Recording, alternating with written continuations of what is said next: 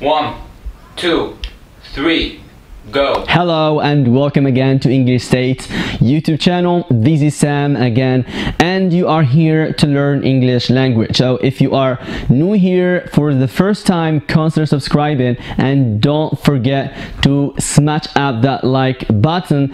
And in this video, I'm going to show you how to make a singular noun into plural noun. It might be easy for you, but hey, there are some important tricks that you have to know. Stay tuned.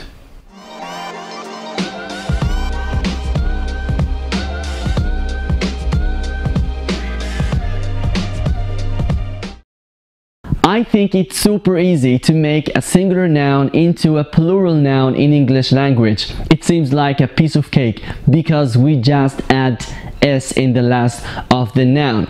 For example, a word becomes words, a car becomes cars, and a house becomes houses. As you see here, we just add s in the last of the word. But there are a bunch of words in English language we want to make them into a plural form. Some of them change completely, others doesn't change at all, and some others need to remove, for example, y and add ies. So that's why this lesson is very important and let's see some examples now. So here we go. Men becomes men. Men in singular, men in plural. Women in singular becomes women, women.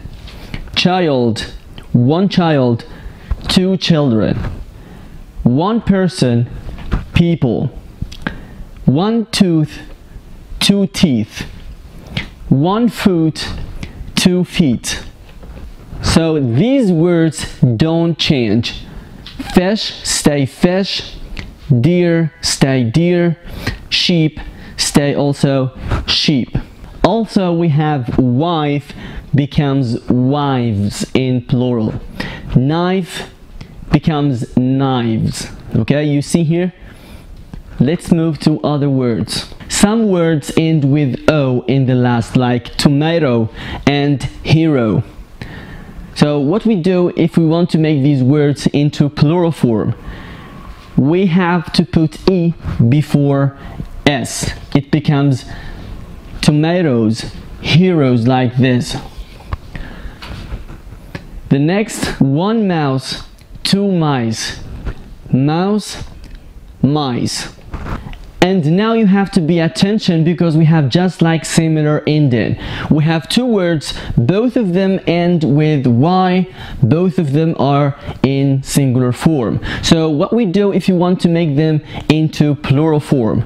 If we want to make them into plural form we have to look before y okay so we will find that activity ends with y and before that y we have consonant letter. It's not the same as here okay? Day ends with y. Before it we have vowel letter.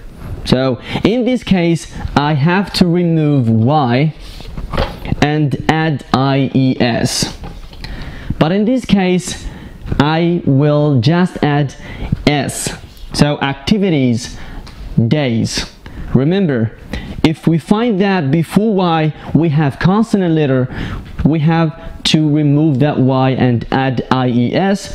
If we look here and find that before y we have vowel, we just make sure that we put one s. No problem in this case. Okay guys, I just gave you some examples.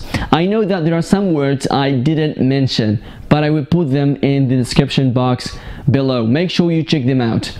I hope you guys like this video and you find it beneficial to you.